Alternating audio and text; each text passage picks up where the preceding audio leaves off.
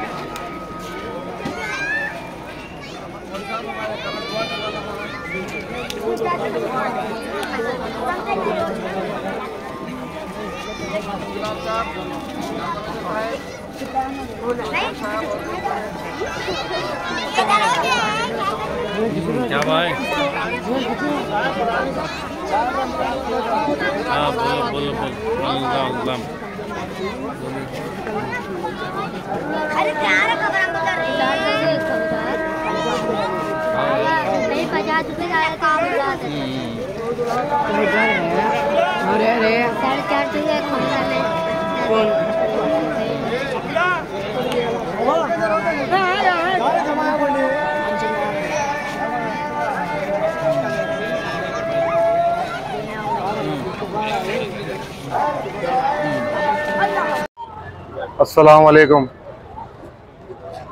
سب سے پہلے ہمارے ایم ایل اے صاحب، حافظ خان صاحب کا میں تہ دل سے شکریہ ادا کرتا ہوں۔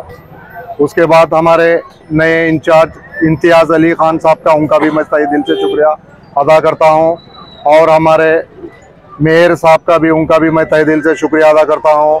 کیونکہ کرنول کے کمشنر صاحب، ان کا بھی میں تہ دل سے شکریہ ادا کرتا ہوں۔ اور ہمارے عبدالعزیز حکیم بھائی، میں ان کا بھی تہ دل سے شکریہ ادا کرتا ہوں اور میری چھوٹی بہن لیلو فور، وہ سکس واٹ کے اندر ایسی محنت کر رہے ہیں۔ بہت دل لگا کر محنت کر رہے ہیں۔ بہت بڑی یہاں پہ محنت کرنے کے بعد ہمارے کو اس بات کا پتہ چل رہا ہے۔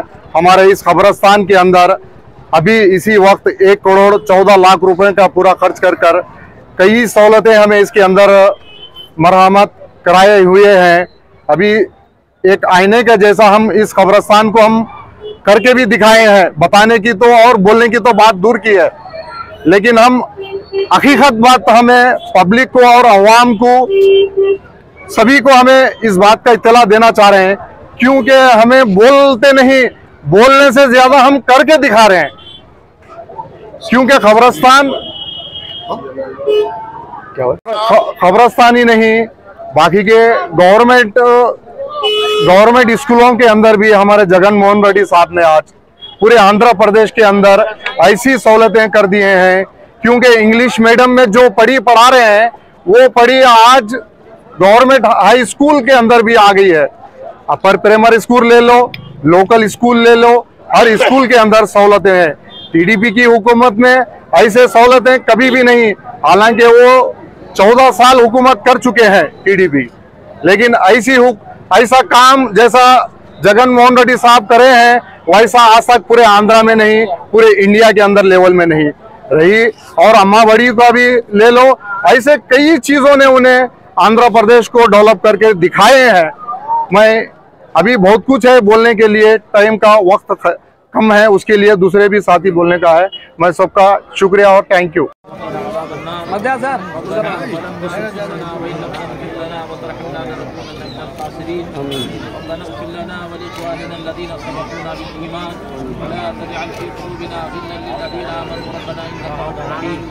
ربنا آج یہاں قبرستان کے اندر اسلام کی مکمل ہونے پر اللہ یہاں کی رسم اجرا کی گئی ہے۔ اللہ اس کو قبول فرما اللہ جو کچھ بھی لوگوں نے اس کام کے اندر حصہ لیا ہے اللہ ان تمام کے حصوں کو قبول فرما۔ خصوصاً ہمارے ایم ایل اے جناب عبد الحفیظ خان صاحب کی زندگی میں خیر و برکت عطا فرما۔ اللہ ان کی تمام خواہشات کو پوری فرما۔ اللہ ہر قسم کے دشمنیوں کی دشمنی سے حاصلین کی حسد سے اللہ کی حفاظت فرما۔ اسی طرح سے ہمارے ہونے والے ایم ایل اے جناب امتیاز صاحب اللہ ان کی زندگی میں خیر و برکت عطا فرما۔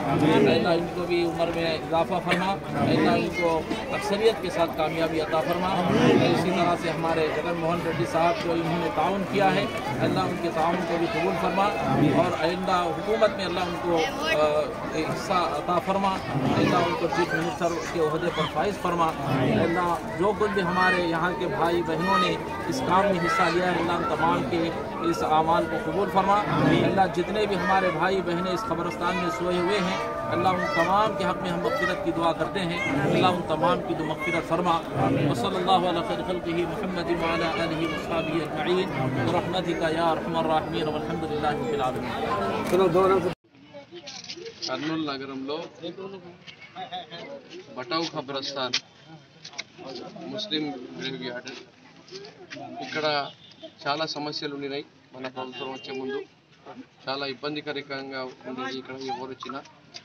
గౌరవ ముఖ్యమంత్రి గారి సహకారంతో కోటి పద్నాలుగు లక్షల రూపాయలు కౌన్సిల్లో అప్రూవ్ అప్రూవ్ చేపించి కంపౌండ్ వాల్ మరమ్మతులు పెయింటింగ్ మొత్తం cleaning internal roads sitting area అలాగే గజీబోసు ప్లాంటేషన్ మొత్తము ఇక్కడ ఈ లైట్ ఎలక్ట్రిఫికేషన్ లైటింగ్ ఇవన్నీ కూడా కోటి పద్నాలుగు లక్షల రూపాయలతో చేయడం జరిగింది. దాంతోపాటు ఒక వినూత్నమైన ఒక ఐడియా పెద్దలు ఇచ్చారు. మత పెద్దలు గురువులు. మా కర్నూలు నగరంలో ఎక్కువ శాతము బీద కుటుంబాలు ఉంటాయి ముస్లిమ్స్లో. వాళ్ళ ఇంట్లో ఎవరైనా చనిపోతే చాలా కష్టమైన పరిస్థితి ఉండేది. దానికోసం స్టేట్లోనే ఫస్ట్ ఉసూల్ ఖానా అంటే ఫస్ట్ ముస్లిం ఫ్యూనరల్ హోమ్ని కూడా మనం కోటి రూపాయలతో ఇదే మొత్తం కబ్రస్థాన్లో కట్టేయడం జరుగుతుంది. దానివల్ల ప్రయోగం ఏముందంటే ఎవరైనా బీద వాళ్ళు ఉంటారు పేదవాళ్ళు ఉంటారు ఇల్లు చాలా చిన్నగా ఉంటాయి.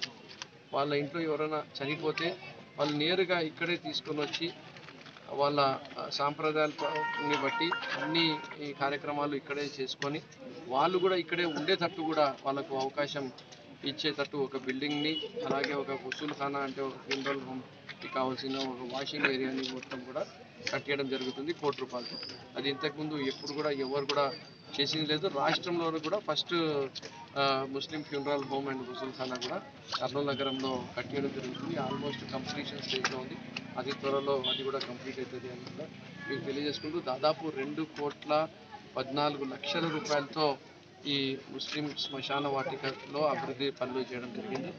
అలాగే దీని పక్కనే ఉండే హిందూ శ్మశాన వాటికలో ఇంతకుముందే ఒక బర్నరు ముప్పై ఐదు లక్షల రూపాయలతో అలాగే యాభై లక్షల రూపాయలతో internal roads drains compound walls beautification కూడా మొత్తం చేయడం జరిగింది. అలాగే టెంపుల్స్ కోసం గౌరవ ముఖ్యమంత్రి గారి సహకారంతో దాదాపు మన రాంబోట్ల టెంపుల్లో కోటి రూపాయలు కోటాంజనేయ స్వామి టెంపుల్కి కోటి రూపాయలు సత్యనారాయణ స్వామి టెంపుల్కి కోటి రూపాయలు ఇంకో మన మలై సత్రం అని చెప్పింది దానికి డెబ్బై లక్షల రూపాయలు కూడా తీసుకొని రావడం. అలాగే క్రిస్టియన్ బరియల్ గ్రౌండ్ కోసం కూడా ల్యాండ్ అలొకేషన్ మన ప్రభుత్వం వచ్చిన తర్వాతనే చేసి దానికి కూడా డెవలప్ చేపించడానికి దాదాపు యాభై లక్షల రూపాయలతో ఫస్ట్ చేపలు కూడా అక్కడ కట్టేయడం జరుగుతుంది అంటే కులాలకు మతాలకు అతీతంగా కర్నూలు నగర ప్రజలకు ఏదైతే అవసరం ఉందో దానిని బట్టి ప్రతి ఒక్క అభివృద్ధి కార్యక్రమము ఏదైతే చేస్తే ప్రజలకు వాళ్ళ జీవిత శైలిలో వాళ్ళకు మేలు జరుగుతుందో వాళ్ళ వాళ్ళ కష్టం అనేది తీరుతుందో అలాంటి అభివృద్ధి పనులు చేసుకుంటూ వెళుతున్నాము. సంక్షేమమే కాకుండా ఇలాంటి అభివృద్ధి కార్యక్రమాలు బ్రహ్మాండంగా చేస్తున్నాము. ఇంతకుముందు తెలుగుదేశం ప్రభుత్వంలో ఇట్లాంటివి ఈ కార్యక్రమాలు జరగలేదు వాళ్ళు చేయలేదు కానీ వాళ్ళకు మాత్రం అభివృద్ధి కనపడదు కూడా అని చెప్పి కూడా మీ ద్వారా తెలియజేసుకుంటాం